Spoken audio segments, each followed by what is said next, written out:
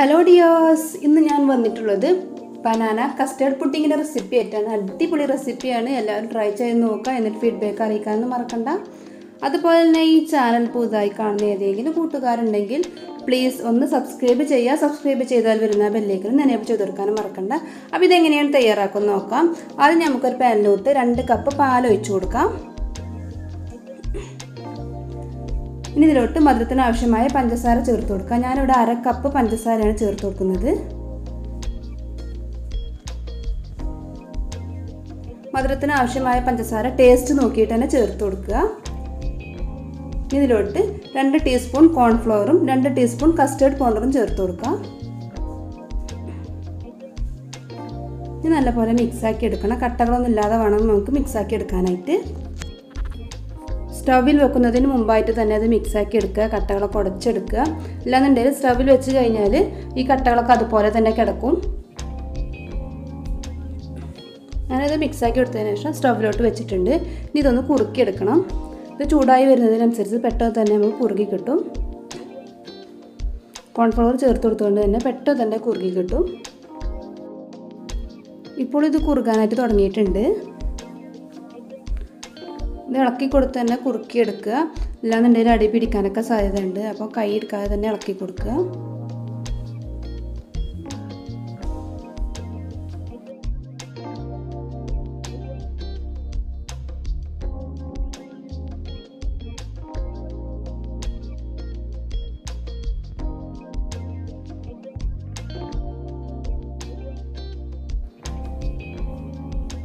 അപ്പോൾ ഈ ഒരു പരുവത്തിലാവുമ്പോൾ നമുക്ക് സ്റ്റവ് ഓഫ് ചെയ്യാം. എന്നിട്ട് ഈ ചൂട് കൊടുക്കാൻ തന്നെ നമ്മൾ പുഡിങ് സെറ്റാൻ വെക്കുന്ന പാത്രത്തിലോട്ട് ഒഴിച്ചു കൊടുക്കണം. ഞാൻ ഇതുപോലെ ഗ്ലാസിന്റെ ട്രേ ആണ് എടുത്തിട്ടുള്ളത്. നിങ്ങൾ കയ്യിൽ ഏത് ട്രേയിലായിട്ടും കുഴപ്പമൊന്നുമില്ല. ഇനി അര കപ്പ് പാലും എടുത്തിട്ടുണ്ട്. ഇനി പാലിൽ ബിസ്ക്കറ്റ് ഒന്ന് ഡിപ്പ് ചെയ്തിട്ട് വെച്ച് കൊടുക്കാം. ഈ പാലിൽ ഡിപ്പ് ചെയ്യുമ്പോൾ ശ്രദ്ധിക്കേണ്ടത് കുറേ നേരം അതിൽ ബിസ്ക്കറ്റ് ഇട്ട് വെക്കരുത്. പെട്ടെന്ന് പെട്ടെന്ന് തന്നെ മുക്കിയിട്ട് ഓരോന്നായിട്ട് വെച്ച് കൊടുക്കാം.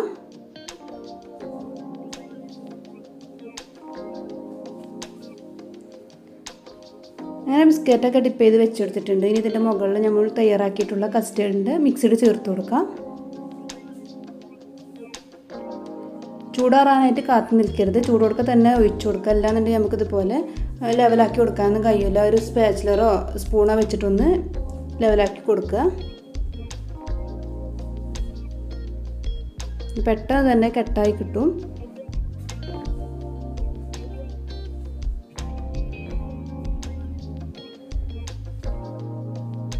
അങ്ങനെ അത് ലെവലാക്കി കൊടുത്തിട്ടുണ്ട്. ഇനി ഇതിന്റെ മുകളിൽ നമ്മൾ ഫസ്റ്റ് ചെയ്തതുപോലെ തന്നെ ബിസ്ക്കറ്റ് പാലിൽ ഡിപ്പ് ചെയ്തിട്ട് വെച്ച് കൊടുക്കാം.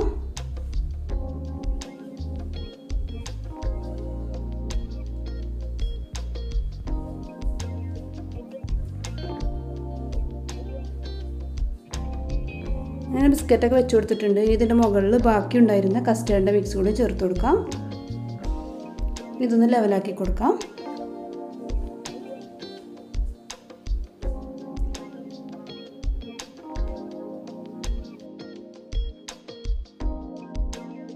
ഞാൻ കസ്റ്റേർഡിന്റെ ലെയറൊക്കെ ലെവലാക്കി കൊടുത്തിട്ടുണ്ട്. ഇതിന്റെ മുകളിൽ അടുത്ത ലെയർ തയ്യാറാക്കി എടുക്കാം.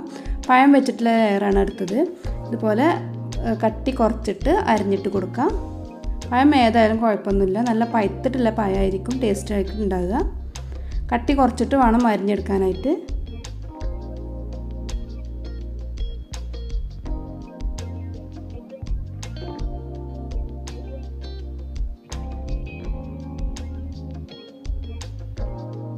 അങ്ങനെ പായത്തിന്റെ ലെയറൊക്കെ ഇവിടെ ശരിയായിട്ടുണ്ട്. ഇനി ഇതിന്റെ അടുത്ത ലെയർ തയ്യാറാക്കി എടുക്കണം. അതിനായി ഞാൻ പത്ത് ഗ്രാമിന്റെ ചൈന ഗ്ലാസിന്റെ ഒരു പാക്കറ്റാണ് എടുത്തിട്ടുള്ളത്.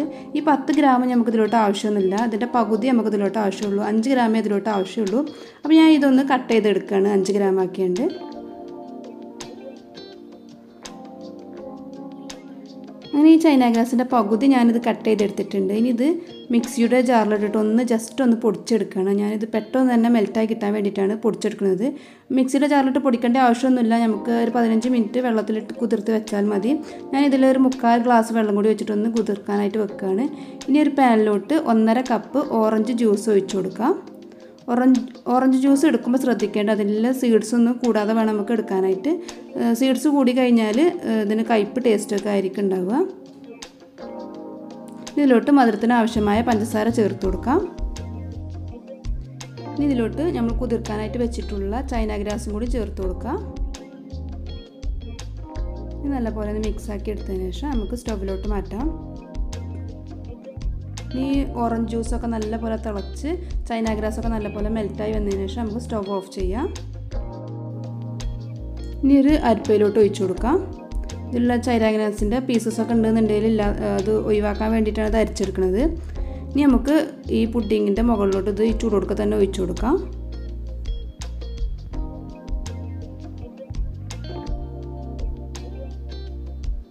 അങ്ങനെ ഇതിന്റെ മുകളിൽ ഒഴിച്ചു കൊടുത്തിട്ടുണ്ട്. ഇനി ഇത് അരമണിക്കൂർ സെറ്റാനായിട്ട് വെക്കാം. ഇനി ഇത് ഫ്രിഡ്ജിൽ വെച്ചിട്ട് തണുപ്പിച്ചിട്ട് വേണമെന്നുണ്ടെങ്കിലും കഴിക്കാം. അല്ലാന്നുണ്ടെങ്കിൽ റൂം ടെമ്പറേച്ചറിൽ വെച്ചിട്ടും കഴിക്കാം. അതൊക്കെ നിങ്ങൾ ഇഷ്ടത്തിനനുസരിച്ച് ചെയ്യാം. അങ്ങനെ നല്ലൊരു റെസിപ്പിയാണിത് എല്ലാവരും ട്രൈ ചെയ്ത് നോക്കുക. എന്നിട്ട് ഫീഡ്ബാക്ക് അറിയിക്കാനൊന്നും മറക്കണ്ട. അതുപോലെ തന്നെ ഈ വീഡിയോ ഇഷ്ടപ്പെട്ടാൽ ലൈക്ക് ചെയ്യുക. നിങ്ങളുടെ ഫാമിലിക്കും ഫ്രണ്ട്സിനൊക്കെ ഒന്ന് ഷെയർ ചെയ്ത് കൊടുക്കുക.